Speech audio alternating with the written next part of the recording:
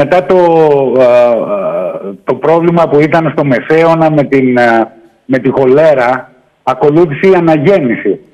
Βεβαίως τώρα δεν, δεν μιλάμε για τέτοια κατάσταση εδώ, ωστόσο ε, ε, έχουμε, έχουμε να πάρουμε πολλά μαθήματα.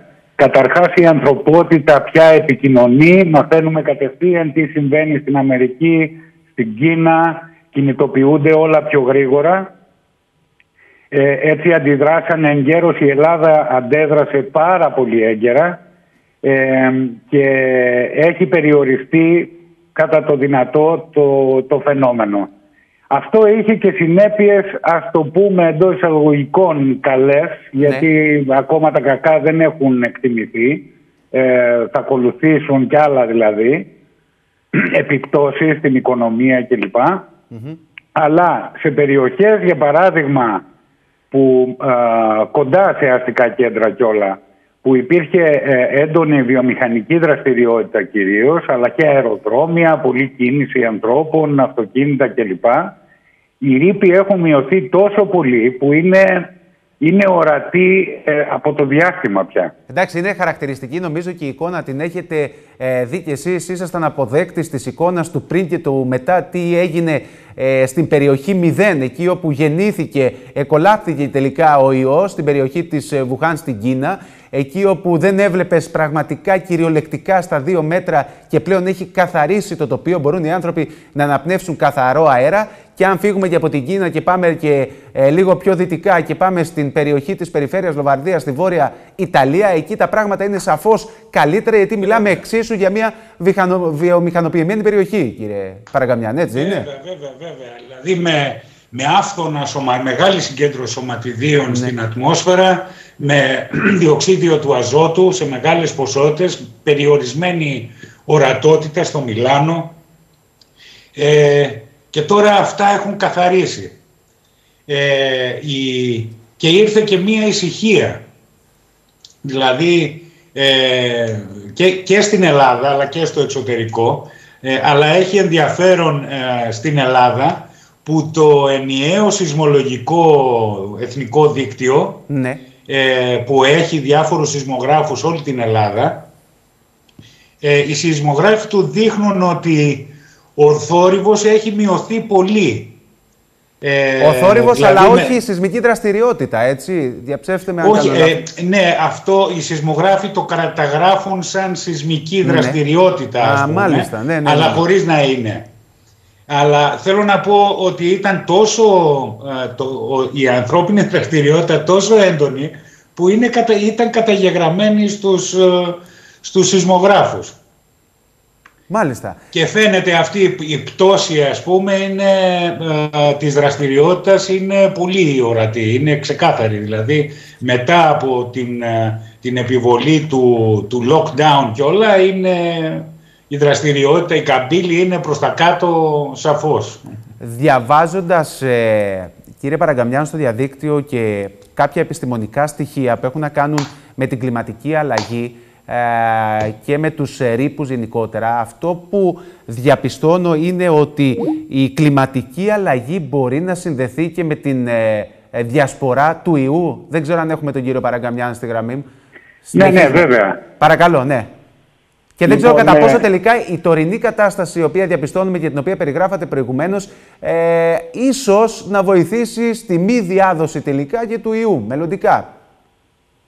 Ε, ε, κοιτάξτε, οι, οι δημοσιεύσεις και είναι πάρα πολλές. Δηλαδή, ε, έχουν από, την, από τις αρχές ε, του Ιανουαρίου τα δημοσιεύματα γύρω από τον κορονοϊό, τα επιστημονικά εννοώ, οι επιστημονικές δημοσιεύσεις, ναι. έχουν ξεπεράσει τώρα πια τις 6.000. Δηλαδή έχει, έχει όλη αυτή η επιστημονική μηχανή, όλο το δυναμικό του πλανήτη ουσιαστικά, ε, κάνει και κάτι για, ή πολύ λίγο για τον, για τον κορονοϊό. Ε, ε, πρόσφατες εργασίες συνδέουν τη ρήπανση με τις επιπτώσεις της, ε, της πανδημίας και τους θανάτους. Ναι.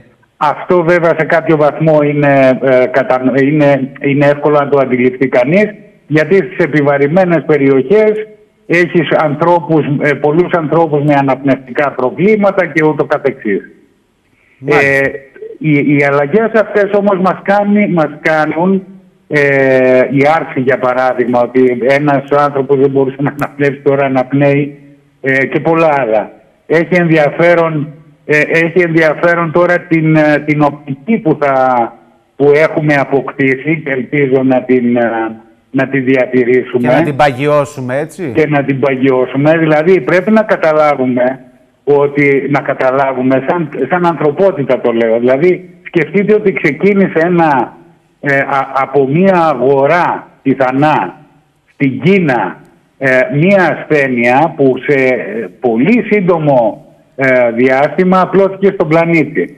Επομένως τώρα όλοι αναζητούν, ζητούν από την Κίνα και από τα ασιατικά κράτη να καταργήσουν τις αγορές πώλησης ειδών άγριας ζωής ναι. που σημειωτέων ότι αυτά τα είδη παράνομα τα, ε, πουλούνται, δεν είναι, δεν είναι ο νόμος ο τροπος και επιπλέον θα πρέπει να γίνεται με έναν τρόπο υγειονομικά ορθό. Όχι αυτό το πράγμα, δηλαδή πηγαίναν οι άνθρωποι στην αγορά, πατάγαν τα αίματα, ας πούμε, ή το... Ε, αυτό είναι κάτι που μπορεί να γίνει, από αδιαφορία δεν γίνεται. Μάλιστα. Ε, ένα, ένα άλλο είναι επίσης ότι πρέπει να, να σεβόμαστε τα οικοστήματα και την άγρια ζωή. Δεν, δεν τους έχουμε αφήσει πολύ χώρο και γι' αυτό το λόγο, ε, γι αυτό το λόγο αλληλεπιδρούμε έντονα. Για παράδειγμα, ε, ε, τώρα στις ασιατικές πόλεις, εκεί που υπάρχει lockdown, άγρια ζώα έχουν μπει μέσα στις πόλεις πια. Δεν έχουν που να πάνε. Το ίδιο έχουμε και στην Ευρώπη βέβαια, αλλά όχι σε τέτοιο βαθμό. Και αυτό που πιστεύω ότι θα αναδειχθεί πάρα πολύ ναι. είναι πια ε, αυτό που, που ενώνει επικοινωνιακά όλους τους ανθρώπους ε, που είναι η χρήση του διαδικτύου. Και εκεί ε, και οι διάφορες πλατφόρμες που μας επιτρέπουν να φερόμαστε έξυπνα, να, να μειώνουμε το αποτύπωμά μας και να εξυπηρετούμαστε στην καθημερινότητά μας οι άνθρωποι, αλλά και να μειώνουμε το... Δηλαδή, σκεφτείτε την άλλη συνταγογράφηση, για παράδειγμα.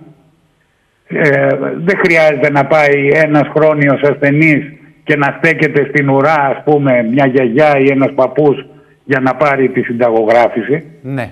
Έχετε δίκιο.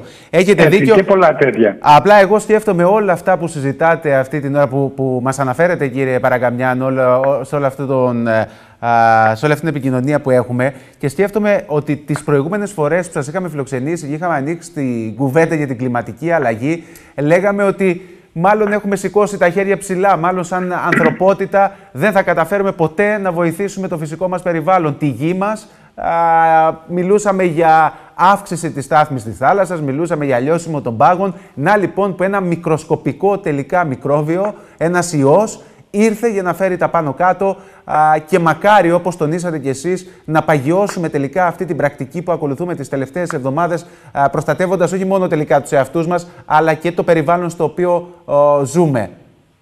Έτσι είναι, έτσι είναι γιατί τελικά αυτό είναι σεβασμός προς τον ίδιο τον άνθρωπο. Έτσι. Λοιπόν, θέλω να σας ευχαριστήσω πάρα πολύ κύριε Παραγκαμιάν.